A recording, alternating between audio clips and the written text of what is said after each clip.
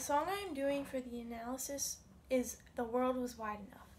The song recounts the events of the 1804 duel between Alexander Hamilton and Aaron Burr in Weehawken, New Jersey. The song starts as a reprise of the Ten Duel Commandments explaining what happened before the duel.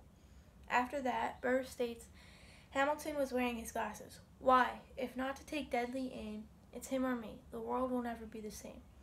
It seems as if Aaron Burr is trying to make excuses for killing Hamilton.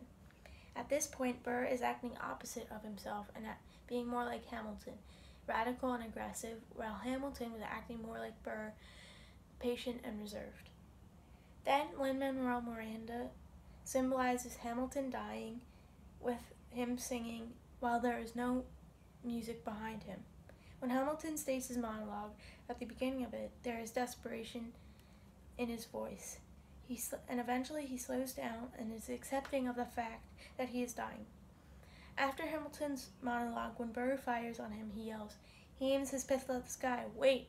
Because he realizes that Al- Hamilton wasn't going to shoot him.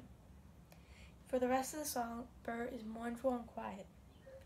He says, I survived, but I pay for it. Now I'm the villain in your history. When he says this, he is talking about his career and reputation and how they were ruined because he killed Hamilton in a duel. This is also referring to the line in the song Right Hand Man when it says, Dying is easy, young man, living is harder. Finally, one of the last lines in the song, Burr says, I should have known the world was wide enough for both Hamilton and me. By the end of the song, he fully blames himself for killing Hamilton and ruining his own life.